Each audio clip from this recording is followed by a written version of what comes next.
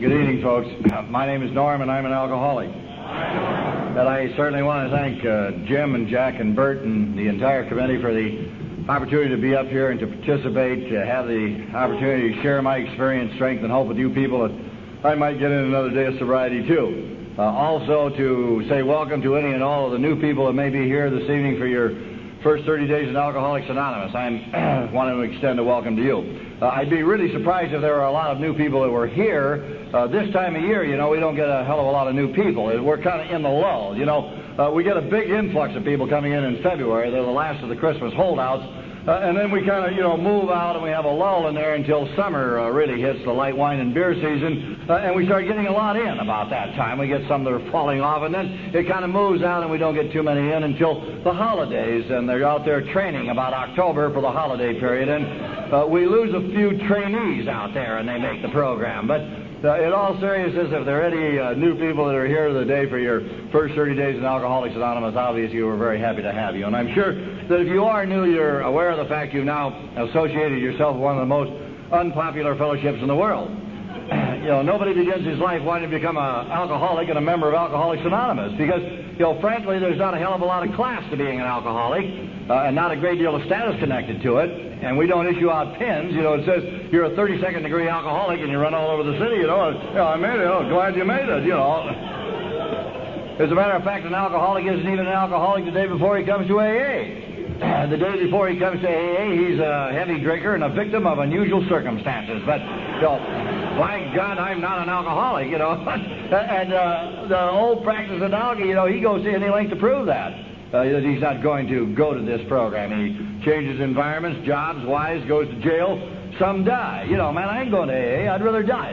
And he dies out there, you know. I'll show you I ain't going to meetings. And he's dead. And he showed us, by God. He was going, that's, that's how unpopular this fellowship is.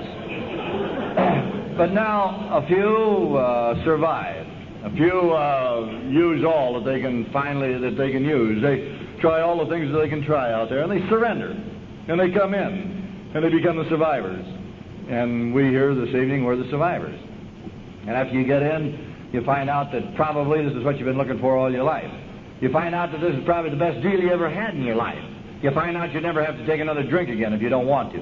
You find a group of people who will know most everything about you, who will still accept you, who are not necessarily interested in where you've been or where you're trying to go, but they're awfully interested in what you're trying to do today. You know, that's a hell of a break for an alcoholic because when you're out there drinking, who's interested in you? Nobody was necessarily interested in me the last two or three years I was drinking out there unless they heard I was going to jail or leaving town. You know, then they were delighted over that. Isn't that marvelous, you know? People used to say to my wife, where's Norm? Uh, he's down in Texas on a job. He'll be gone about three months. Isn't that marvelous? You know, they, they're always happy that you're the hell out of there and gone, you know? Get him out of, get him out of circulation. Well, now that, that kind of changes. Now, you come on in here today and you find out that people really care.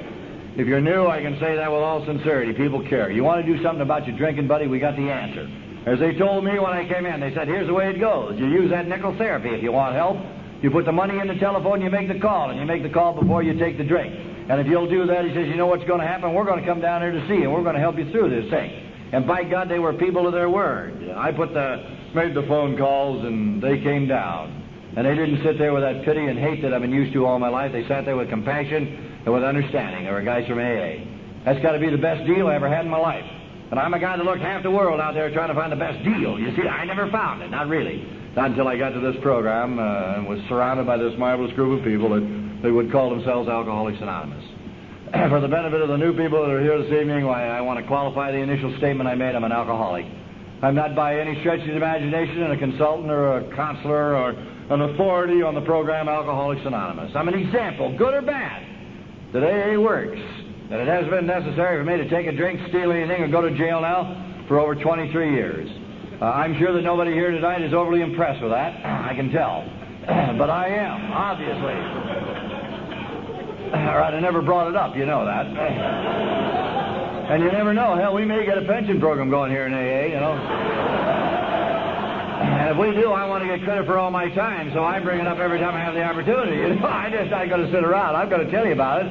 Whether you ask me or not, I'm going to tell you about it. But to new people that are here, this is tough to understand. You know, a new guy sitting there in his first month of meetings and he hears people talk about long terms of sobriety. It's a difficult thing to visualize, you know, and I can I can go along with that. Hell, I can understand that. It, hasn't been that long ago that I can't remember sitting in that first AA meeting. and I uh, was 29 years old. And to save you a lot of mental calculation, I'm 52. That gets that all taken care of right there, you see. But I sat there in that first AA meeting, and I was 29. This guy stands up in front of the group, and he said, I haven't had a drink in uh, nine and a half years. And I like to fell out of the chair. I thought, Jesus, that's the biggest liar I've ever heard. How the hell could a guy go nine and a half years? If he just said nine months, I'd have said, the hell you have. How'd you do it? You know, I can understand, you know, nine months, but I couldn't understand a guy going nine and a half years out there, and I immediately became concerned. It became a nine and a half year program. I thought, what'll I do now for the next nine and a half years? Hell, my life's over. What'll I do with all my time? What'll my friends do if I'm not there to guide them through life? They'll die out there. That's what you know. And I kept going to meetings. And I found out now, by God, it's not a nine and a half year program. And that's why if you're new, that they tell you, you know, you got to get to a lot of meetings because you find out a lot of answers. And that first 30, 60, 90 days, a lot of things are, are brought to light. And by God, I found out it was a one day at a time program. That it's now, that that's what it's all about. They said take care of the day, and chances are the week's going to take care of itself. And will a month and will a year, and by God, that's the way my life has gone. And now almost 23, or over 23 years have run by. And it seems like yesterday that I was sitting there in those early AA meetings wondering why I was there, because as I mentioned, I wasn't, you know, delighted over the fact that I was an alcoholic going to AA. I, I thought, you know, why, uh, why am I here? Jesus, of all the things it could have been, why am I an alcoholic? It wasn't a vocation. So I didn't go down to my high school concert, and he said, you know, Norm, what would you like to be? And I said, an alcoholic. and he said, marvelous, Norm. We got a new program for jackasses like you, you know. I went up there and tore the hell out of L.A. for the next 15 years, and I arrived. You know, I had completed the course. Well, that wasn't it.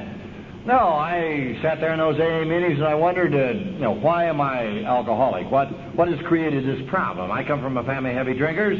Everybody in my family drinks. I'm the only alcoholic in the family. Why have I been given the cross to carry the whole rotten outfit when I'm the best in the family?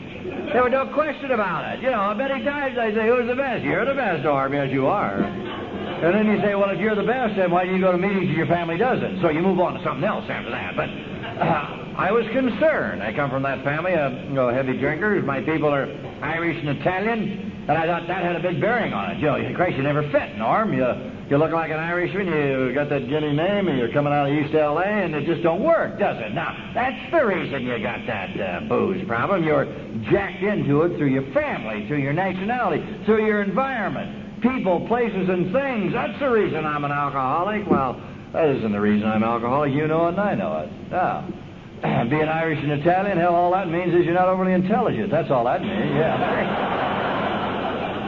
Absolutely nothing else going for it. Because I was born and raised in L.A., what the hell, I don't mean anything, you know. you might be a little flakier than most, but other than that, no. So,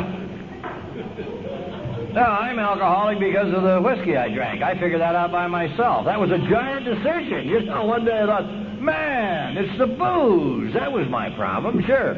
I drank that whiskey out there as hard and as fast as I could drink it. And somewhere in that lottery of my life, I crossed the invisible line from the social aspect of drinking to the compulsive area. One's too many, a thousand aren't enough. Looking for the answer to living in a quart of whiskey, and I can't find it. My whole life revolves around booze. People that sell it and people that drink it, and after half a dozen drinks, you got no control. The booze was the biggest problem I had. That is me. Right here. I'm the biggest problem right here because every, you know, no matter where I go, I'm the first guy to get there. Isn't that right? Sure. all my problems all of my life have, uh, you know, initiated right here within myself.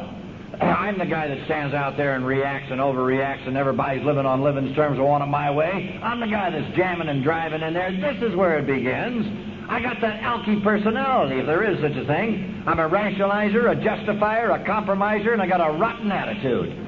So what the hell, you don't need any more, do you? I had all of that before I ever took my first drink. Traveled half the world and half my life, I made a complete ass of myself. I spent money I didn't have buying things I didn't need, trying to impress people I didn't like. Yeah, I think that's the story of most alkies. You, you run all over hell to tell some guy you've never met you're something you aren't and you'll never see the guy again. You know, that's the incredible part. How am I going to follow up on it to see if he's still impressed? You know, no.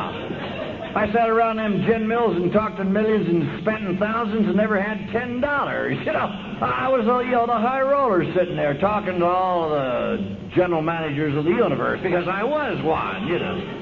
And the guy says, What do you do, Norm? Well, I do it all, man. That's what I do, you know. Yeah, aren't you impressed with this thing? I impress people. I, I drove the city in L.A. in the middle of the summer with the windows rolled up in my car to make you think I had an air conditioner. These things, you know, never change.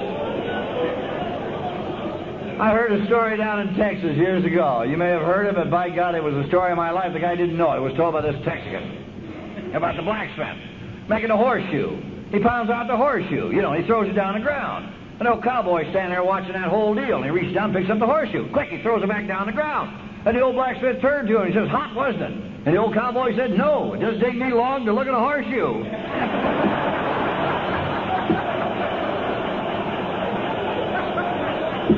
it kind of sneaks up on you, doesn't it, huh? yeah, I was on a plane coming home and it hit me and I like to went to pieces. I thought, Christ, that's the story of my life. Yeah, I've been running all over all of my life picking up them hot horseshoes, justifying the stupidity of my activities. Laying around on the sidewalks dead drunk, and the guy says, You're drunk on the sidewalk, Norm. I said, Oh, no, I ain't. I love sidewalks. That's why I'm here, yeah. A lifetime of justifying the stupidity. And I came to the program and I found out that those things are no longer necessary. I came into AA and found out that, hell, people aren't going to be impressed with where I've been or where I'm trying to go, not in AA. Now, they told me right off, don't impress us here, buddy. We've been impressed by experts. Be yourself. And you know I don't get any more than that in the sobriety I've enjoyed here. I can say without reservation I'm overpaid. Because I've been able to spend a lot of days out there in that city street, and all I've had to be is me. I haven't had to justify my existence or compromise my life. Isn't that a hell of a thing? All I've had to do is be myself. It's an experience that no alcoholic should be without. And by golly, if you're new, I suggest that you grab the package that's available to you here in AA. And you two take it out there tomorrow and experience a day just being yourself. It is an experience. Tonight, if I may, I'd like to tell you a little bit about what I was like, what happened, what I'm trying to be like now, what the program of AA means to me, and, and some things that I'd use to stay sober. I don't bring up this past because I'm trying to impress you with the booze I consume or the problems I had, but I don't know a better way to talk about the program.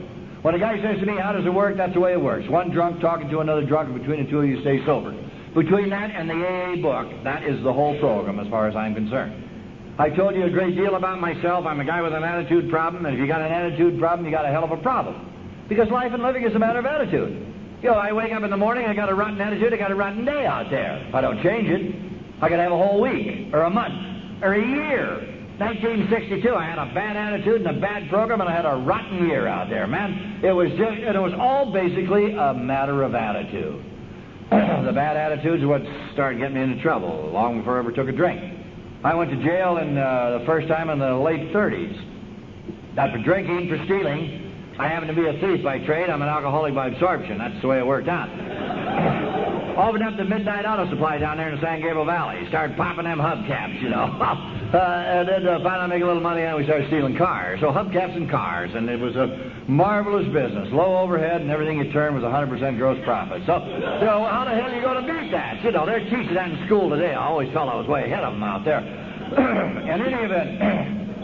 I was a good pupil. I was a good thief. I was considered one of the finest car thieves that ever came out of the San Gabriel Valley. And we had a lot of good hookers out there in those years. You know, you, uh, you had to move to get ranked up in the top ten, I suppose. But eventually the inevitable happened, and I was arrested, and I went in front of my first judge, and I got seven years in Whittier Reformatory. And I was sent out there. But I wasn't out there long enough to wash my face. Some juice got in. I got a release. And I got put on probation. I came back to L.A and I had no change of attitude, so nothing's going to change. I'm looking for a fantasy land, a synthetic existence. In about 1941, I used to say 40, but I think it was closer to 41. About 1941, Easter week, Balboa Beach. That's where it all started. the Rendezvous Ballroom, Stan Kenton, and Padre Beer. Man, that's where she all got going down there. We, we'd suck on that old Padre, get a little buzz on, you know, and go in the dance hall dance with the dollies and act four times drunker than what we were. And breathe on them, you know, you got to let the girls know you got that booze out there. The, you know, the young high roller coming in, and they had a hell of a lot of fun. And I never got in a lot of trouble. As a matter of fact, didn't get any trouble in the beginning. But I kind of worked at that alcoholism. Uh, some people feel they're alcoholic from the first time out of the chute, and I'm sure in their case there's no question about it. But I, I worked at it. I moved from that Padre beer to the Rainier Ale. From the Rainier Ale, I shot right into that that whiskey. And when I got to the whiskey, I found the greatest thing made since money and girls because that you know, that, that whiskey gets your attention right now. That's what I like about drinking whiskey, man. The, the first drink you take, it gets you downtown. Man, I want to get downtown. That, I don't want to be downtown after a while. Now, yeah, that whiskey gets you there right now. And I trained. I broke in on that old 10 high, and let me tell you, that, that old 10 high will get your attention, I'll tell you. Economically, you couldn't beat it. 60 cents a pint, man, you felt every loving drop going down. It burned, grabbed, and tore all the way down and all the way up again. You know how, you know how it'll come up and run out your nose and makes your eyes water. You know, you you stand there gagging, and one of your best friends is going, ain't it good? Oh, Jesus, you're so good. You can't breathe. That's how good that stuff was. But you hang in. That's the important thing, and the day comes when you can drink a pint of 10 high and never throw up, and you feel, yo, I'm there now. That's all right. And I liked the buzz, and I liked the taste of the whiskey. I liked everything there was about it. and there's fringe benefits. I heard this when I came to AA, drinking cheap whiskey. When you throw it up, you don't lose much. yeah, figure it out. What the hell? You're paying $10 for whiskey, and you're flashing $10. There it goes, you know. All over the ground, ten dollars. Why, that'll make you sick all over again, won't it? Sure. I heard that from another alky. You know, you're new, you probably thought I made that up. I was original, but that ain't the way it is, nay, nah. Anything you hear, nay, that's good and usable is taken from somebody else. And you give that guy credit for it for three times, and after that, it's yours, buddy. That's the way it goes.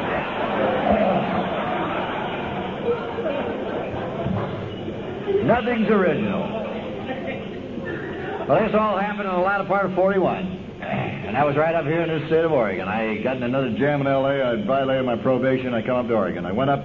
Matter of fact, I jumped the freight and pulled into Salem and worked the hop yards out of Independence, and I worked some gyppo logging uh, and uh, sawmills between Corvallis and Yachats and Newport Depoe Bay and all that out there just go to them hayshaker dances. You know, just had a hello and get beat up every other Saturday, you know. But I just hung right in, you know. But hey, here comes that city guy again. You know, there you go. uh, well, I left. Uh, uh, and I got back down in L.A. about 1942, I guess it was. It was January of 42, and I had a hell of a time.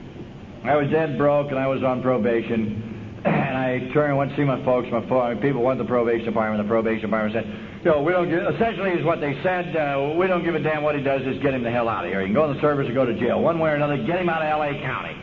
And so I went into the United States Navy. We were in a state of war. I was in a state of shock, and that's the way it was. I felt, you know, with my kind of ability, I'd be the youngest lieutenant commander of the Navy ever had. and I was the oldest seaman they had, you know. I just couldn't get the damn thing going. Every time I turned around, when they got me hacked. I had three court martials. I had a deck, a summary, a general. Had 11 and a half months in a Navy brig up there on the top of Goat Island run by the Marine Corps. Had maybe 60, 70 days solitary confinement on bread and water at different intervals and some other miscellaneous things are important, but all directly into booze. I had a lot of shipboard time, consequently had a lot of sober time. I did a good job. I didn't get a kick out. But that's the way it was. I didn't get kicked out because I was a hard worker, wasn't sober. And aboard ship, I was sober a lot because the conditions were not conducive to doing a lot of drinking, and I got tired of drinking that sneaky Pete and that other stuff. Man, it uh, made your teeth black and it raised hell your bowels, too, I'll tell you that. so I didn't drink a lot of that, and I had a lot of good shipboard time and was able to come out with a under honorable condition discharge. I came back to Los Angeles in uh, 1946, and in 1946 I heard about AA. You know, God moves in strange, mysterious ways, and no matter what you do or you don't do, it's going to work out that way anyway, huh? How many times in my life I said, I'll never go there, I'll never do that again, I'll, uh, I won't see that person, I'll, I'm not going to that city, and yet, through attrition, through a direction, through a power greater than myself, I find myself in these positions. And out of all evil, a certain amount of good has got to come. And in 1946, I made a statement to myself and to the judge and the probation department, I'll never come back to this dirty, rotten Pasadena again if I live to be 190. Because you guys are just, you know, you're a rotten bunch of people. You, I used to think had an alarm system went around the town, you know, and every time I'd cross over, it'd go off, and it'd say, he's out there again. You know, they got me again. I had, you know, four arrests that year. I got a year suspended on a three-year probation. I was determined I would never go back there again. Never. A couple of months went by, and I was down one of the beach towns and committed the cardinal sin. While I was drinking, I began to think. And that's a bad deal for an alkie. He should either think or drink, but don't get them both going at the same time. I got to thinking about that rotten judge in that lousy town. It's a free country. I'm going back. I went back. You I got a whole load on that night there in Pasadena. Went out and got in my car, drove on down one of the main drags. I couldn't have gone a half a mile. Car pulled in front of me. I couldn't see it, and I hit it and ran from the scene of the accident. I ended up maybe a couple of blocks away with the police forcing me to the curb, jerking me out of the car. And when I woke up in the morning, I was booked on a 501 felony, drunk driving, hit and run, bodily injury involved. And but for the grace of God that looks after damn fools and drunks, why, four people didn't die out there in the city street that night. You know, alcoholism is a game of seconds and inches. A few inches, a few seconds. That's all you got to talk about. I recognize that today. And when it gets to salty, I don't think I can stand it out here. I like to remember. I like to remember that year of 46 and how I felt and how depressed I was and how the remorse dug and chewed at me and how scared I was when I stood in front of that judge that morning and he told me in no uncertain words that he had no recourse but to get me the hell off the city streets, that I was a disgrace to myself, my people, and the town, and to put me into jail where I wouldn't harm anybody. And he sent me off to jail to do the year. And in the city jail, I shared a cell with a man who was going to AA. God moves in strange ways, huh? I went back to a town and drank that I said I would never go back to again, to go out in the middle of the night to hit a car, uh, to end up in a tank with a man that was going to AA. One guy got out of the bucket once a week to go to AA meetings. Out of maybe 200, 250 guys, one guy. He planted the seed. Once a week, he'd go to a meeting. Once a week, he'd sit there and jabber about this AA thing. And I, he was absolutely sickening. I told him I, I don't want to hear any more about AA because I'm not going to AA and you're not going to take me to AA and I haven't got an alcoholic problem. I have a people problem. It's not the booze, it's the people. The rotten, rotten people out there. They're my problem. Now, let's straighten out the world. Everybody goes the way I'm going. It's going to be all right, Sully. Don't talk to me anymore. I am too young to be an alcoholic. You are 36. What is left? Nothing for you, everything for me. Ah. You are on the back side of the hill. You are through, over, and I believe that, yes. Hey, a place to go when you get so old you can't do anything else. That's And I've used those words a thousand times, you know that. and I went my way and he went his. And eight and a half years later, I picked up a telephone. I'm looking for a guy named Sully that I shared a jail cell with back in 1946. And I was looking for AA. And I found the AA program, but I never found him. Five years went by, maybe six, and I heard through the grapevine that he'd gone back to drinking. He couldn't hold the sobriety. And he went back to drinking after three years, and he went too long. He ended up having a wet brain. They put him up at Camarillo State Hospital, and they locked him up for the rest of his life, and they said, Norm, he's never coming back. And so I promptly forgot about my friend, and I went on down the road. And then it was five years ago, last December. I was on a, in a Sunday morning meeting over in uh, Pasadena. Where the hell else would it be? Pasadena's in and out of my life, you know. I'm at this meeting in Pasadena. I looked down the front row, and who was sitting there was a guy named Sully that I shared a cell with maybe 27 years ago. And I thought, Jesus, God, you keep moving in strange and mysterious ways, buddy. No matter what you do or I do, or it's just going to work out that way. And I thought, this is a revelation, and there seems to be some significance connected to it. And when the meeting was over with, I says, man, I owe you. You're the first sponsor I ever had. I want you to go to some meetings with me. Let me help you. Where you been? He says, Norm, I got nine weeks in. I just got out of the county hospital. He says, I'll call you. And he didn't. And the Sunday following Thanksgiving, his sister-in-law called me and she said, Norm, he went back out there one more time to the gates of insanity or death. He had an internal hemorrhage and he died before they got him to the hospital. To the gates of insanity and then on to death. And I wondered why, why, why? Why does there have to be the percentage of people that have to go back out and show the alcoholic can't make it? Why do they got to prove that once an alcoholic, you die an alcoholic, you never go back, you never can retrain, you can't regroup? Why is it that this is necessary? I don't know. I haven't the background, the education, the vocabulary to explain. I only know that these things happen. That if you continue down the road, that's the ultimate end of it all. Some messages there I find it difficult to to recognize it or understand it this day, but it's for some reasons, I'm sure. Well, I drank a lot of whiskey in that eight and a half years I was out there. Went to work for one of the largest construction firms in the world. I stayed with these people 11 years, and in that 11 year period of time, I was fortunate that I was at the right place at the right time. We had some 20 jobs going in the 11 western states, and I made a lot of them. And each and every time there was a new job that would break, I would have an advancement, and the responsibilities would get greater, and so would the money. And I needed the money about then because I got a big overhead by now. I met and married a red-headed Irish woman, and she has got a violent temper, a rotten disposition, yells at me all the time, and is pregnant every other year. So we got a hell of a problem. I got herself in that shape eight times. It was incredible. I couldn't believe it. I, I used to sit around the bar stools and wonder how can it happen. I'm rarely home anymore either, you know. As you can understand, we never had a great deal of dialogue around the house. I'd be gone two or three days, and I'd come home, and, uh, you know, alcoholics are very sensitive people. You know it, and I know it. Particularly after you've been drunk three or four days, you're exceptionally sensitive. You uh, walk in the house, and uh, you're tired. You've been very busy out there, and you'd like to be greeted with a little love, affection, and understanding. Isn't that right? So I walk in the house, and from 20 feet, Christy's yelling at me. You know, you're drunk again. Oh, now, that's a hell of a way to greet, greet a guy who's been gone for a couple of days, isn't it? before she'd ever smell my breath. You know, I could. I was always dumbfounded. I'd be in the phone booth and I'd call, and she'd say, "You're drinking, aren't you?" And I'd jump out of that phone booth. I'd look, "Where the hell is that guy?" You know. I was sure she had somebody following me out there. Well, this is the kind of situation that I'm working against. I walk in, and as I said, she'd say, "You're drunk again," and I say, "Who me?" Like 37 guys with you. You know who the hell she's talking to, but you gotta you gotta get her on the defensive. So you you start out by uh, saying, "Do you know who you're talking to?" And in case you didn't, then you introduce yourself to her. You know? I'm old Norm, baby. That's who the hell I am, and don't you forget it. And then she mimicked me as the only way the Irish can do it. I'm old Norm. That's who I am, you know. And Jesus, that upsets the hell out of you. Sometimes that happens when you got your best friend with you, your new business partner. You know, you you met him in the bar last night. You've invited him home. Come home, Jill.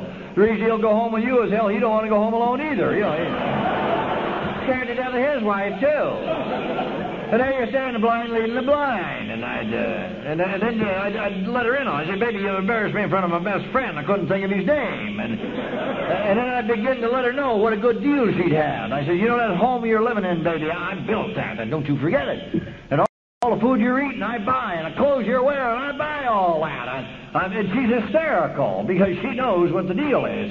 You're three months behind on a house payment. The kids are eating water on the post toasties, and she's standing in her wardrobe right there. Yeah, she knows the deal. But you're impressing her. Yeah.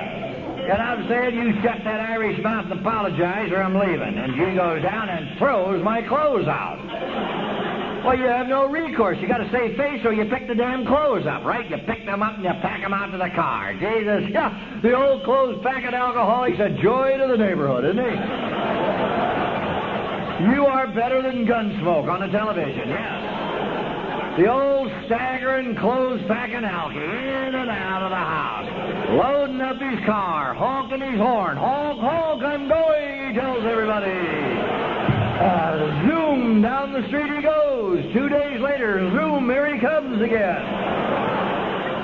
Driving in, you know, flat tire and all. Here comes old rim driver home, you know. The tires flopping and popping in there, easy in the car, you know. Jesus, the sparks are flying off of the rim.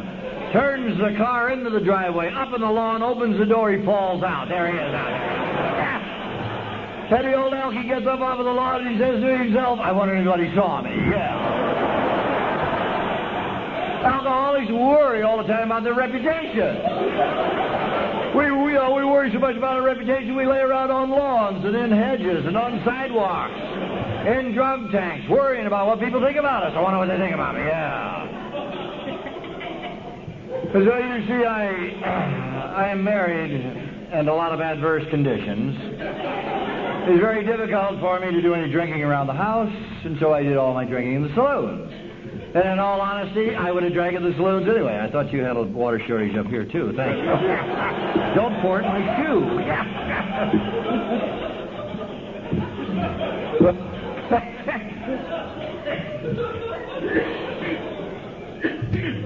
but as you can tell, I had a lot of problems in this marriage.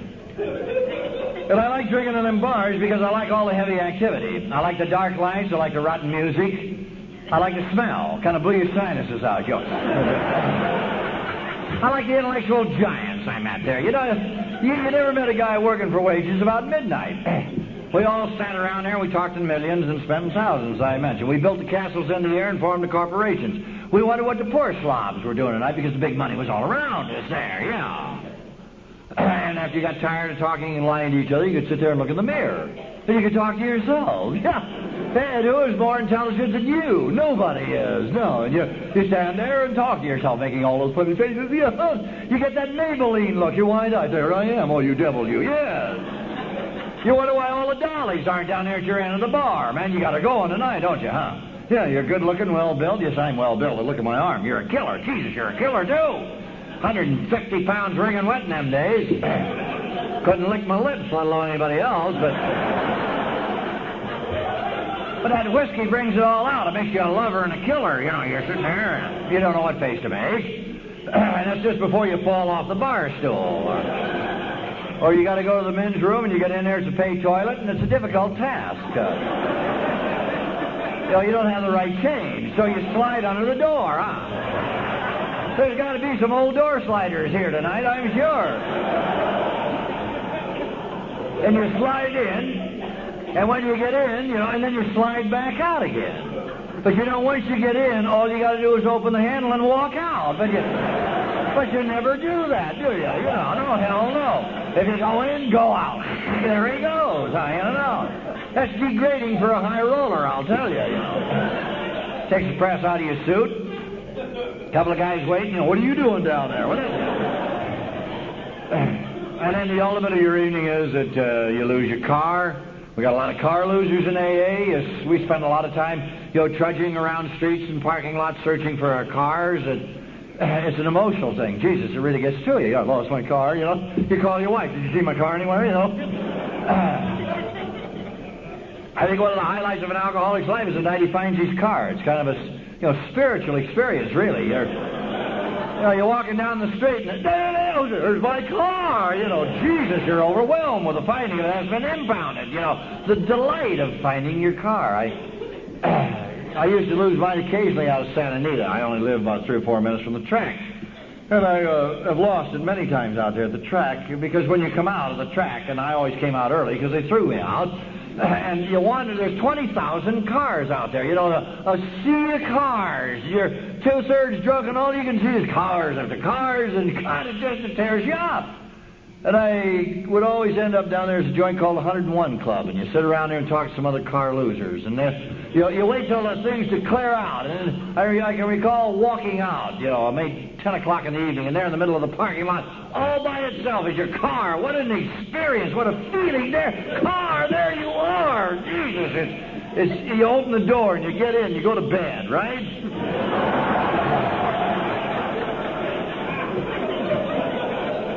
We got a lot of car sleepers in AA. You know, you see a new guy coming through the door, he's walking in like that, you know. he's a car sleeper, yeah. He's had his head screwed up under the armrest all night, huh? He's had the door handle stuck in his ear. He wakes up 4 o'clock in the morning and he's sick. He thinks his window's down, it's up. Good, that rap, huh? Yeah. You ever try to throw up through your own window? You knock the hell out of your head. You sit there throwing up on yourself. You sit there saying to yourself, drinking fun. Yes. And you're determined the next time's going to be different. Isn't that the old cliche of all alcoholics? Next time. Man, next time's going to be different. Yeah, when I get back down, and when they open that job again in Big Spring, Texas, man, I get back down there, it's going to be different. It's going to be all right. They love me down there in Big Spring. Or was it Dallas? Or El Paso? Or Moses Lake, Washington? Or Seattle or Albuquerque. It was always going to be different. Next time, next time. It always was. It was worse. It never got better. But I kept searching, like all alcoholics, trying to get the handle on it. Trying to drink like my old man and my brothers, the guys I'm running with, people I'm working with, because I felt somewhere someday I'll find that absolute control. And as I trudged that road, the booze got every loving thing I owned and anything to me. I recall the day vividly that I drove home, you know, and on the way home while I'm scheming, as only the alcoholic can scheme. And by the time I reach the door, well, the tears are coming down. And I'm saying, baby, baby, Jesus, give me a break. Don't throw me out. I got a hell of a deal, baby. I'm going down to see that priest, take a pledge. I'm going to see the doctor. Think of the kids. I'm going to do all them things for you, baby. Jesus, don't throw me out. And you scheme. One more lie, one more promise, and you get in. And as soon as you get in, you start scheming to get back out again, right? Now, then the day comes when there's no more scheming, huh?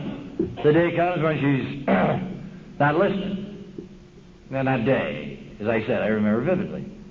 I'm coming in, I got a pretty good hangover. I'm pretty sick. I pull into the house. I walk in, she's not even sore at me. She just said, Norm, you're a drunken bum, Norm. You'll never live to be 35 years old, eh? You're drinking yourself to death. The kids and I are neurotic because of you. I spent eight years sitting here looking through the front room window waiting to see your car come home. Night after night after night, I wait to see your car come home, Norm. and night you never come home. and I age and I die, and I hear the sirens run, and I scream, and I think the police got you again. Or this time they found you dead in the middle of the street, Norm, and you're never coming home, Norm. And I can't go through it any longer. You drug us down that gutter as deep as you're ever going to get us, Norm. Out of our life. You get out of our life. I've called an attorney. I've asked for separate maintenance. I put a restraining order against you. You don't live here no more. You get the hell out of our life. And I walked out and I got in my car and I drove away. And I said, why me? Don't we all go through it? Why me? And you know and I know, if you're an alcoholic, you drink enough booze long enough and hard enough, it's just a matter of time until it's going to get it all. Just a matter of time. The wheels of alcoholism grind very slow but very fine. You give it enough time, it gets every loving thing you own that means anything to you. Sure, there's the isolated cases where people come in and they still got it all put together, right, huh? So you got the woman, the man and the woman, they're walking in, they're going to their first day of meeting, they're still together. What the hell? That's a miracle. Gotta be a miracle. You know, oh, you look at that guy, he's all sick and hung out. You look at the woman, she's sick too, and in her eyes is a story. You read it there. It says this jackass has tried everything in the world. It ain't gonna work. Nothing works for this guy. He's too dumb. No, he's too sick. He's not an alcoholic, he's worse. He's got nothing for him. And then you see the same couple maybe two, three months later, walking to the door, same door, same meeting. The guy, you know, he's kind of bought the package. He's scarfed out, looks pretty good. You look at the woman, she's changed too. And in her eyes is a story. It's a new story. It says, I've been waiting 20 years for this to happen, and finally it's happened. And today we're happier than we've ever been in our life. And it's all made possible through a unique miracle that you and I choose to call Alcoholics Anonymous. Yes. if you're new, this isn't something we guarantee. Don't get it wrong. No. This isn't something we have to offer. Huh? What we have to offer here is sobriety and a way of life. And whatever you are, you're going to be better at. We don't guarantee you're going to make a ton of scratch or drive the big iron or live in the big house on the hill, or your woman's ever going to call you home, or your man, whatever the case may be. No, no. What we have here sobriety, a way of life. You're a ditch digger. You're going to be a better ditch digger. And if you'll stick around and buy the package, your self-respect. And that a hell of a deal? Your self-respect. The sweetest thing I ever owned in my life. And it was taken away. A man walked in one day and says, Norm, you've abused the privilege of owning it. He took it away. He took away my self-respect. I couldn't buy it. Nobody can buy it. You can't check it out down some supermarket. No. It's not a commodity the day comes, you know, you're standing there looking there in front of the mirror and you give all the money in the world, by golly, and your right arm thrown in if you could feel good. If you wouldn't have that dying, digging, crying feeling inside, that remorse that was tearing you apart. If you could just look in the mirror and really look at yourself, you think, I'd give it all.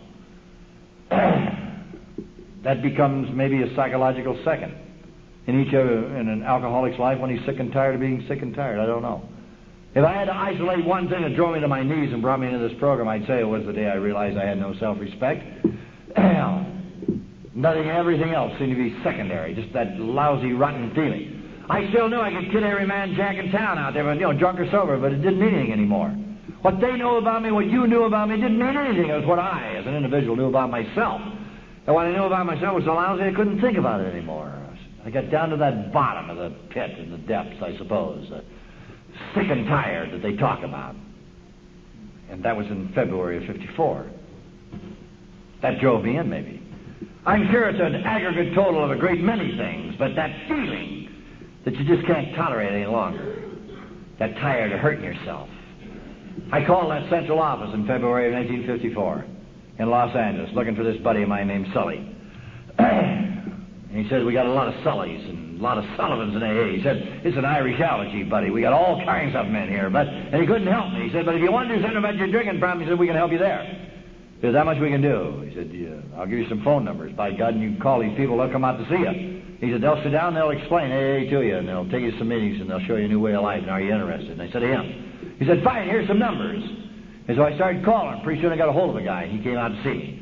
My sponsor was one of them hard-hearted sponsors you hear about. You know, went to school for hard-hearted sponsors. And his attitude about AA was, you wanted, uh, you had to want AA as bad as you wanted the booze. And that's the way he paralleled it. He said, You went to any length to get the booze, buddy. That's the way you got to go about AA. He says, You know, uh, you need us. We don't need you. You remember that now. Yeah.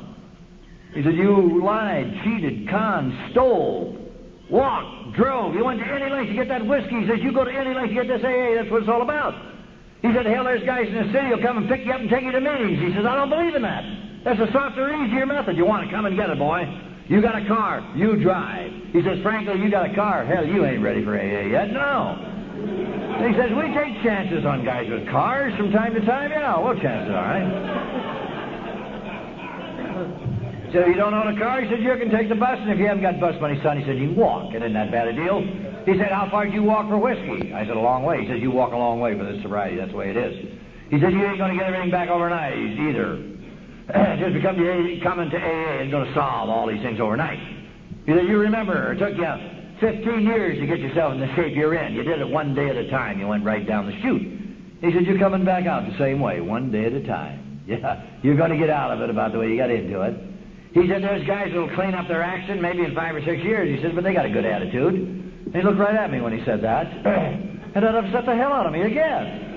And the only thing I liked about him by now was when he said, if I can make it, you can. And I thought, ain't that the truth? Yeah. Yeah, if that rotten old man can make it, anybody can make this thing. Yeah, I'm convinced. And I can hardly wait for that night to come to get in my car to drive down to that meeting. He'd be there in the parking lot. I'd crush him with my car. That's what I'll do, yes. And I went to my first AA meeting in spite of myself and in spite of my sponsor. And it was a God-directed thing. There's no question about it. Boy, I got into that car and I drove down to that Temple City meeting. The old Temple City meeting in those days used to meet down in Rosemead. Used to be in the Legion Hall. On the corner was a liquor store, the Legion Hall. Next door was a cemetery. The cliche in the group was, you get by here, stop here, you won't make it over there. You know. They'd show all the new guys in the cemetery. You David, you're going to die. Ah, ah. Isn't that funny? I think it was very funny. No new guy thought that was very funny. Alcoholics got a warped sense of humor after they get sober, yes. I'm subjected to more of the sense of humor. There's a very wealthy group. We had so much money in the group, we had donuts before and after the meeting. Can you imagine that?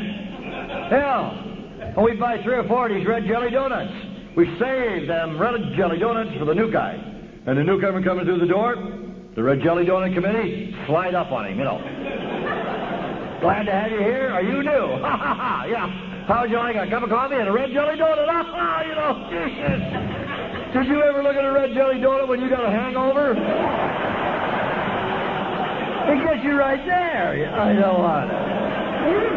Oh, thank you very much, but I don't want your donut, no. It looks like something I left on the street last night, yeah. Did you ever look at a red jelly donut when you got a hangover? It gets you right there. I don't want it. Oh, thank you very much, but I don't want your donut, no. It looks like something I left on the street last night, yeah. And they all laughed about it. And then the meeting began. And typical of an meeting. And the guy stood up there in the front of the group and he told everybody what a jackass he was to become hysterical. The old LA Central Avenue group with the whole meeting on. And this main talker they had that day, he talked about going to jail and people beating him up. And the more he go to jail, and the more they beat him up, the more they'd laugh about it. He talked about drinking something called Jamaican ginger, giving the Jake leg, crippled him up so bad and put him in the hospital for two and a half months, and they were hysterical. Jesus, they thought that's funny. And my sponsor's a nudger, and he said, there going, did you hear it? Did you hear it? Did you hear it? You know. All sponsors are nudgers, you know. If they're not doing it, your wife is, you know. They think you're deaf, but I'm listening. I can hear. I can hear. And I can hear all of it. But I'm having difficulty in some identification. The guy's lost me. And if there's anything I identify, but hell, he's lost me. I can't qualify for AA. What the hell? I'm premature. I got no story. I got nothing to tell anybody. At the very outside, I've been in maybe 25 jails. I drank a little Vitalis. What the hell have I got to tell anybody? And this guy made a big statement that night, and I think it's so very important. He said, it don't make any difference what you drank, buddy. And I thought he was talking right to me. He said, it don't make any difference what you drank or where you drank it, to the amount you consumed or how old you are. He says, it's what it's doing to you. And if it's tearing up any part of your life, you don't have to go any farther. And when he said that, I wanted to come out of the chair. I don't want to tell him, buddy, you better believe it. It's tearing hell out of my life. I'm tired of hurting myself. I don't want to go through that crap anymore. And as I looked at that guy, as I thought about it years later, probably what was going through my mind was that there stands it all. There stands an example, by golly. If I want some kind of sobriety and semblance of sanity in my life, I'm going to find it right here. I looked for it all over the world out there, and I never found it. Not till I got here. By example, as the program has shown. There it stood. The old cliche, what he is speaks so loud. I cannot hear a word he says. By example is the program, Alcoholics Anonymous. If you like what you see, you come back to find some more, is that right? Stood that man that night with an identification purpose. And I had the identification, and I knew deep inside, by golly, here it is. I've probably been looking for this the last decade of my life, yes. And well-meaning people that try to hand it down. My own woman, you know, time after time and year after year, say, Norm, knock it off. Norm, knock the booze off. Norm, you're killing yourself. Norm, you're destroying the family. Norm, you're destroying the children. Norm, for Christ's sake, stop. And I stand there with tears in my eyes and I say, baby, baby, Jesus, I'm gonna.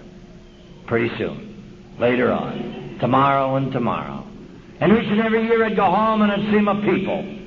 And my own mother, year after year, would say, Norm, Norm, Jesus, quit the drinking, Norm. And I'd say, baby, baby, I'm going to knock off the booze. I'll break your heart no more, baby. Really. Tomorrow, later on, pretty soon and pretty soon. And I tried to get it. I tried to grab the handle there, but the identification, you see, had run past. And there wasn't the identification. There wasn't that they had been to the place that I had been. They hadn't seen the things that I had seen. They hadn't felt the way I had felt. They hadn't heard with the remorse that I had heard with. and so I couldn't identify. I wanted to quit drinking for them, and I couldn't do it. And that night, though, I looked up and I saw there stood a man who said, Would you like a better life? I like to believe he was talking right to me. I like to believe what he said was, Norm, you're new, Norm. How are you? I'm going to give you. A, I'm going to give you a new life. I'm going to give you sobriety. I'm going to give you Alcoholics Anonymous, Norm. Here it is. And he handed it down. And I reached up and I took a piece of it. yes, just a piece that night. As I sat there that night, I wasn't so sure I wanted to quit drinking. I was tired of hurting myself, and I knew by golly, I, I wanted to, I wanted to find some better way to operate. The only other thing I took away from that meeting that night was that, that that guy had sobriety, that that guy had been out there and he knew what he was talking about. He come off of them city streets out in L.A., talking about 75th and Figueroa in that area, and I knew what the hell. And he was a street man, and I know all about them L.A. streets. And he knew what the hell he was talking about. Yet there he stood, not a street man, but clean, sharp, happy, smiling, his eyes clear. And he, he had a set of threads on. I bet them threads cost the guy $150. You know, and I thought, man, if he didn't get nothing else from AA, didn't he get a set of drapes out of it? Boy, that's all right, yeah. and I am impressed with this thing that I see. I was impressed with that, and I was impressed with the fact that his woman, she said, had divorced him and remarried. And his kids, they all hated him. But he said one day his kids came down to see him, and they learned to like him, to respect him, and to love him. And if I'd have looked around, you know what I'd seen? I'd seen a half a dozen of these big, tough AA guys sitting there in that AA meeting, and the tears were in their eyes. They cried. They cried. And there was a story. They laughed because they were miserable, and they cried because they were happy. and they called it Alcoholics Anonymous. And maybe that's oversimplification, but it's, it's the way I work my program. You see, I, don't I don't know a, a better way to clear away the wreckage of my rotten, lousy past, a better way to, to move that crap out than to be able to laugh a little bit about it. Huh? To be able to laugh. How do you start moving it out? Because when you come into AA, there's nothing to laugh about. I sit around in meetings and I hate laughing. I'm never going to laugh. I told my sponsor, I ain't never going to laugh again. Never, never, never. No. And then one night I'm sitting there going, oh, Jesus, I did it. I didn't want to do it. I laugh. Don't tell my sponsor I laugh, whatever you do. But once you begin, a, a whole new attitude comes out, a whole change. By golly, it's like guy took 150 pounds off your back. You start to move away the wreckage of your past. You put yourself out there in a position to grab the package, the whole package. You make that transition, huh? You quit taking, Norm. You start giving. That's difficult for people like me because I never give anything to anybody in my life. What the hell for? I'm a taker. I'm a taker of things and a user of people. I'm a, I'm a loser. All takers are losers. You're looking at one right here. I thought I had the key to happiness out there. Hell, I never had the keychain. Not really. I never knew what it was all about. Not real happiness until I came into the program and the man said, "It ought to be totally happy, Norm. You got to give away what you found. You didn't buy it, you can't sell it. You got to give it, Norm.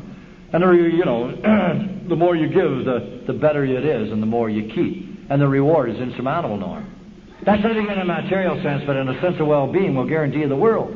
Being able to walk down the street and feeling good all over because you made a 12-step call to the guy last night. You give a little of yourself to him so he can give it to somebody else, and he to somebody else, Norm. This is giving. Your destiny is predicated on the amount that you as an individual are willing to give away. And I believe it. That sense of well-being I've been able to feel since I've been in AA from time to time is inexplainable. The same kind of feeling I had when I drank out there, but when I drank, it was a temporary thing. I used to drink and get that buzz on, and then drink a little more. I get real buzzy all over. And I hit that plateau, and I'm buzzy, man, and I'd order one more just to stay even. Bam! Down the chute I'd go, and I'd wake up in the morning and the buzz is gone. And in his place is a friend of mine. His name was Remorse. You remember him? Yeah. Every day he tore my guts out. and the only thing that ever put him out of my life was whiskey or Alcoholics Anonymous. I traded in the whiskey for the sense of well-being I've been able to find here.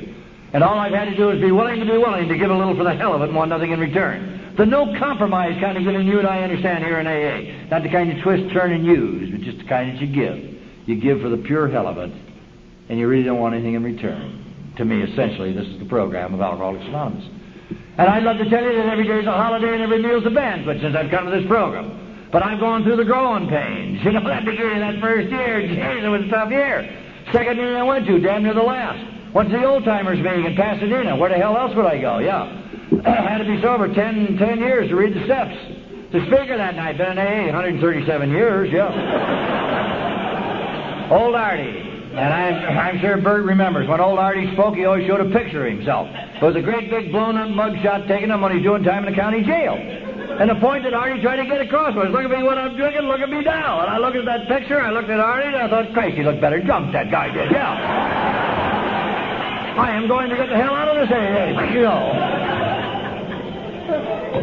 It ages the hell out of these guys. And I went out the next day, bought a pint of whiskey. I took a drag out of it and I threw it away. And I went to my third meeting, which is the Arcadia group, which became my home group. The fellow was leading the meeting that night was a guy named Marky. Mark's sister-in-law is here tonight. Hell of a guy. He kind of took me in hand that night. Introduced me to half a dozen other guys. We started going to meetings together, having meetings after the meetings together. Go to the coffee shops the meetings after the meetings. They're the best ones. You get them in-depth inventories taken that way. we found out there were a lot of cliques in AA. We formed our own clique to be against the other cliques out there. that uh, we found too. They had a lot of flaky people in AA, a lot of bad leaders, speakers, secretaries. In order to change that, well, we would have to run one of our guys for secretary, and so we waited around for a year, run a guy of ours for secretary, in order to change the whole complexion of AA in the San Gabriel Valley. We went down to Baldwin Park in El Monte on election night, imported some friends to make sure our friend got in, you know. and by God, he did. He became secretary of that group by a landslide. And a week later, he joined the other cliques. Yeah. Now, won't that tear the hell out of you, you know? But then you come to find out that the only clicks in AA is the click, click, click it in your head, isn't it? You come to find out that all there is in AA is people. People from all walks of life, isn't that right? people I wouldn't do any drinking with, and obviously there's a hell of a lot of people that do no drinking with me. There's some people that I'm not going to share all my sobriety with them, and they're not going to share all of theirs with me. But the beauty of it all is, as a friend of mine says, there's not a man or a woman on this program would dislike me so bad he'd like to see me take a drink. Isn't that a hell of a deal? Would I call him up and say, Charlie, for Christ's sake, I've got to see you? He'd be there? Now, he may disagree with everything I stand for my work life, my AA life, my business life, my messing around life, my fringe area life, or whatever. But what I call him up and say, Charlie, will you come? He'd be there. He'd sit there with compassion, with understanding. He'd try to help me. Because he wouldn't want to see me go back out in that jungle and get torn up in that grinder one more time. He'd be down to relieve. He'd be down to help. And that's got to be a hell of a deal. That's got to be the best deal I ever had in my life. And as I mentioned before, I looked half the world out there trying to find the, the best deal. and as I say, every day has not been that holiday. The good and the bad. My sponsor said you're going to stand out there and be counted, Norm. you got to be now. He said there's no more excuses now, Norm. You got sobriety in the way of life and the equipment to be counted out there. Take the good days, Norm. Take the bad days. Because you belong to AA and you got some time in doesn't mean you're exempt. He said, that's the way it's got to be. He says, the old shooter upstairs never gives you more than what you can carry, and that's a fact. He gives the big loads to the big horses and the small ones. He always gives the guys named Norm. That's the way it is. right. But it's still damnable difficult out there, isn't it, huh? Some days, God, you hurt. Some days you get physically down. Tough to be grateful, huh? Some days you're dead broke. Tough to be grateful when you haven't got that scratch in your pocket. And God knows I know. 1962 was the worst year I had. 1962, I'm eight years sober out there. I find myself in a bad position. I find myself with a bad program. I let my ego overrule my good sense. I find myself in a business venture with some people that I got no business being in with. No, I'm out of my class. Let me tell you, those guys ate my lunch out there in 62, you know. I thought that I come from the high rollers out there, but man, they put me right in there. In 1962, I was in the worst financial shape in my life. Far worse than when I came into the program.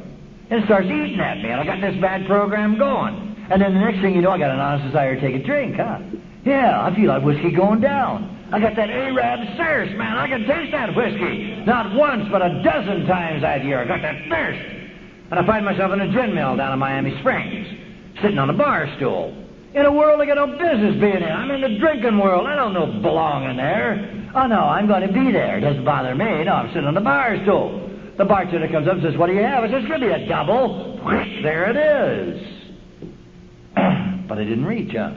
The old shooter upstairs didn't find it necessary to, to snap that angel off my shoulder. He gave another shot. He took me back for a minute, I suppose, and let me remember who I was and where I came from. Maybe he says, Norm, for Christ's sake, in your life, everything from the county jail is up for you, buddy. Oh. Quit crying the poor mouth, Norm. Don't you remember what it was like out there? Eh? You think it's tough today? Don't you remember laying in that tank in Big Spring, Texas, on the dirt floor, and the cockroaches are running over your head, and you're laying there three days whether let you make bail? Don't you remember hitting that car that night you to kill four people? Don't you remember the night your wife's begging you not to leave the house because the the fourth kid is on the verge of dying and you can't stay? Don't you remember? Give me the strength to remember. I say, God, give me the strength. That's all I ask. Give me the strength to remember to say thank you. Let me remember who I am and where I came from. No matter how salty it gets out there, let me know inside that the big crosses to the big horses and the small ones to guys like you. Instead of crying a poor mouth, take a minute out of your busy day, Norm. Look down the street. What do you see down the street? You'll see a man carrying a load ten times the size of yours. He carries his with great dignity. He doesn't find it necessary to cry the poor mouth. He just said thanks. Today I say thanks. Thank you, people. Thank you, my friend, for the 23 years you gave me. For the 23 years you let me walk out there on the sunny side of the street. What the hell, I'm overpaid. I know guys never saw 23 days. I know guys died out there in the street of booze and fantasy, busted dreams and broken hearts.